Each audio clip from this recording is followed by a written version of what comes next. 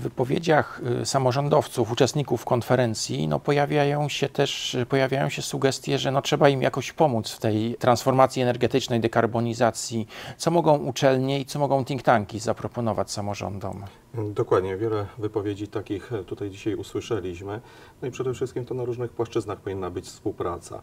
Pierwszą taką współpracą badania i rozwój. Tutaj uczelnie, a także think tanki powinny inicjować wspólnie do różnych projektów badawczych, włączać zarówno administrację samorządową, jak i władze samorządowe. Drugie to edukacja i szkolenie, również organizacja różnego rodzaju warsztatów, szkoleń dla samorządowców, dla władz, ale także dla mieszkańców. I tutaj jest kolejna płaszczyzna, na której powinno się współpracować, czyli wychodzić do społeczeństwa lokalnego z różnego rodzaju inicjatywami. No i jeszcze można by było tutaj wspomnieć o zrównoważonym rozwoju, gdzie też poprzez naukowców, poprzez osoby zaangażowane w działalność think tanków powinny inicjować taką działalność. Jedną z takich inicjatyw jest konkurs na najbardziej innowacyjny energetycznie samorząd, który Instytut Polityki Energetycznej już po raz trzeci organizuje. Tym razem rozstrzygnięcie nie będzie podczas konferencji, będzie kilka tygodni później. O co chodzi w konkursie? Kto jeszcze, czy jeszcze można się zgłaszać do, do konkursu? Dokładnie, po raz trzeci organizujemy ogólnopolski konkurs na najbardziej innowacyjny energetycznie samorząd. W tym e, roku będzie nabór trwać do 26 września.